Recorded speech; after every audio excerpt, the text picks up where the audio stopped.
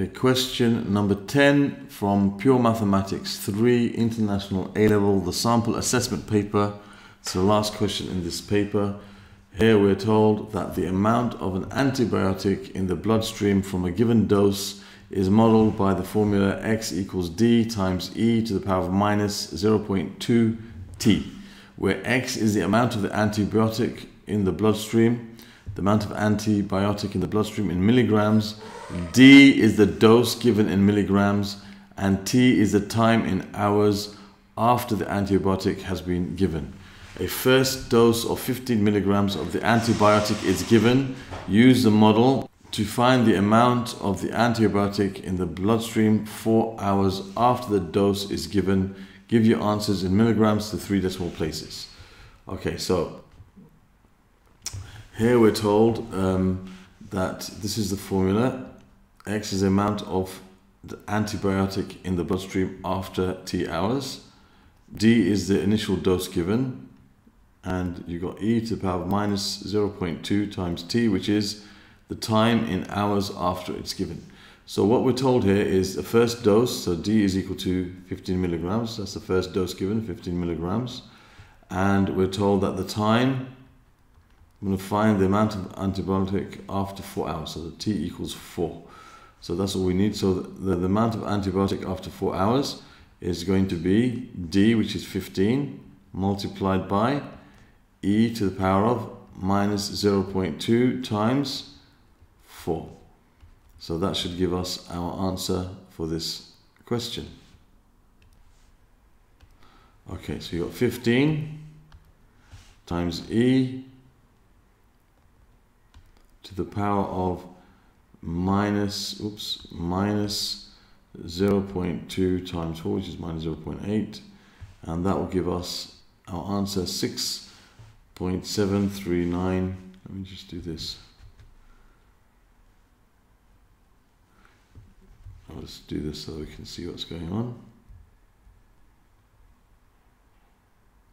Okay, so you have 6.7, 6.73993 continues on. We want it to three decimal places, so that's going to be there. So that's 6.740, 6.740 milligrams. Okay. All right, so there's the answer for part A. Okay, get rid of this now.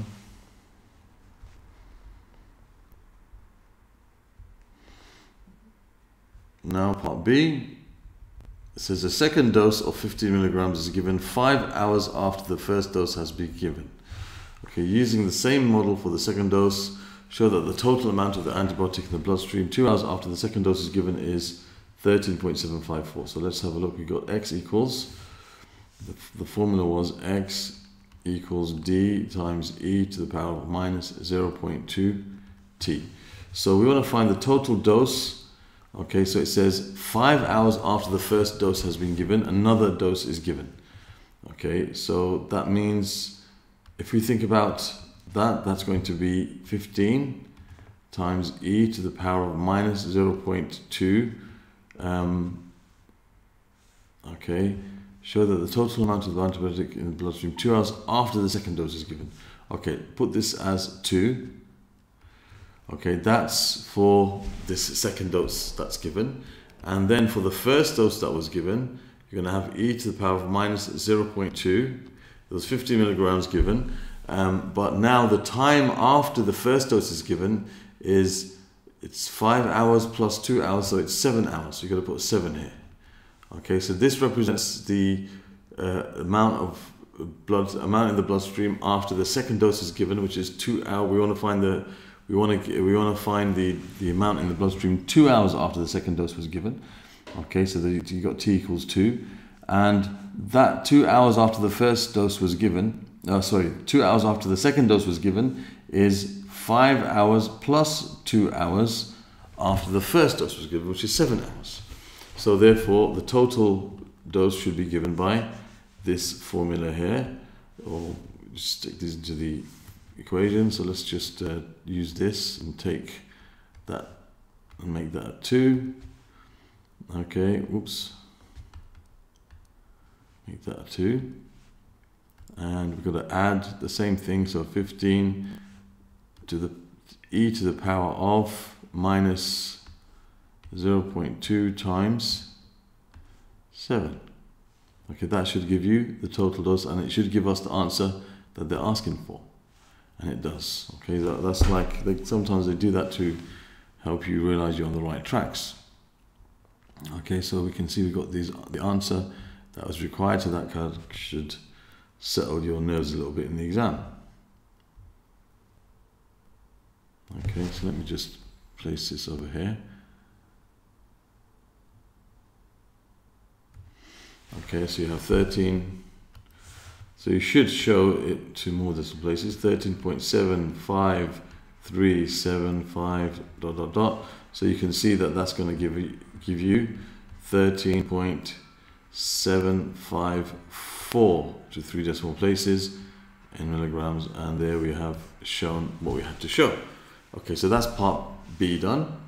And now we're going to go for part C. Okay, part C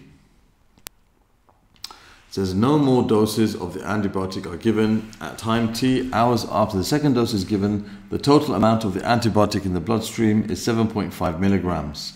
Show that t equals a times ln b plus b over e, where a and b are integers to, de to be determined. Okay, so now the formula was again x equals d x equals d times e to the power of minus 0.2 times t. And x is the amount of um, antibiotic in the bloodstream. So t hours after the second dose is given, the amount of the bloodstream is 7.5. So we can say that x is equal to 7.5. x is equal to 7.5 and d is equal to 15 milligrams. d is equal to 15. We can just put 15 for this. d is equal to 15. Okay. Now what is t? Now says no more doses of the antibiotic given at time. T hours after the second dose is given the total amount of the antibiotic in the bloodstream is 7.5 so there's the two different doses that were given. So this depends. So let's have a look at um, the total is going to be 7.5 that's the sum of the doses from the first and from the second uh, dose. That's this, this that's going to be the sum of what's left of those doses. So the first dose that was given was 15 um, and e to the power of minus 0.2 times. Now, it says t hours after the second dose is given. So let's take this as the second dose. That will be t here, right? And then you're going to have, that's the amount left after the second dose is given. And then you got 15 times to the times e to the power of 0.2 times. Now, the first dose was given, okay, five hours after the uh, before the uh, second dose, right? So the total time elapsed between the first dose and it becoming this amount is going to be t plus 5. That's the total time. Okay, that's uh, elapsed between the first dose being given and uh, the time that we, we need to find right now. Okay, because this is when the second dose was given, which is um, the, the, this is the time after the second dose was given. T hours after the second dose is T, and that second dose was given five hours after the first dose. So the time elapsed from the first dose till now is going to be T plus five. So if I, I have to solve this equation for T, okay, and find that T is equal to some number times a ln of some number plus the same number over E.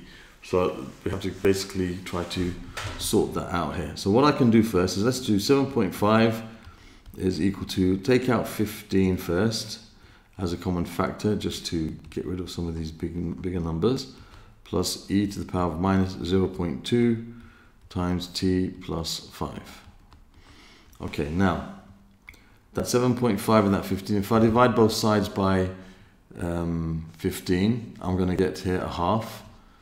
Okay, so I'll have a half equals, I have e to the power of minus 0.2 t plus e to the power of, now what I'm going to do is I'm going to multiply this out, minus 0.2 t plus or minus, there'll be a minus, minus 0.2 t minus 0. minus 0.2 times 5 is minus 1. Okay, so I'm going to have here a half is equal to.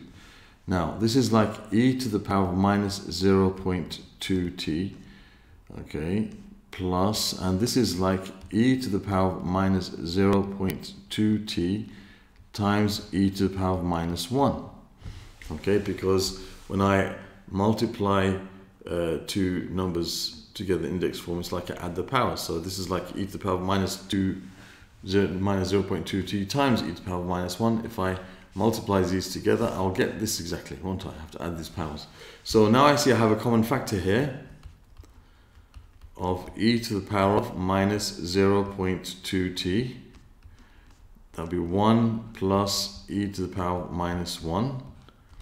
Okay, so now I can um, I can write this as its reciprocal if I want to, or I can uh, yeah I can I can divide both sides by one plus e to the power of minus one.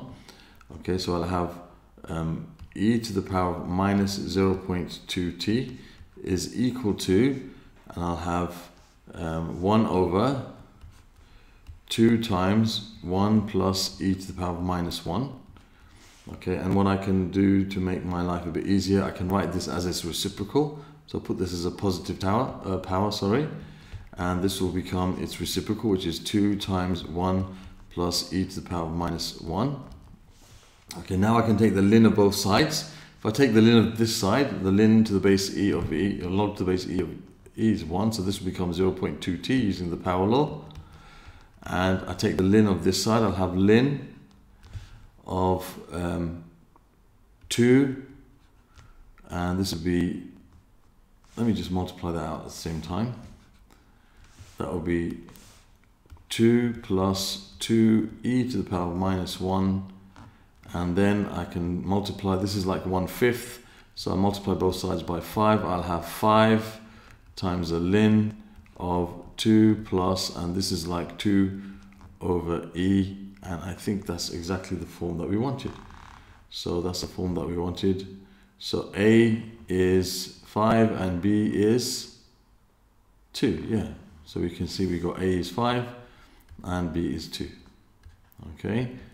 So we got it in the right form and we see that the what, what they wanted in terms of A and B are integers and it looks like that's the correct answer.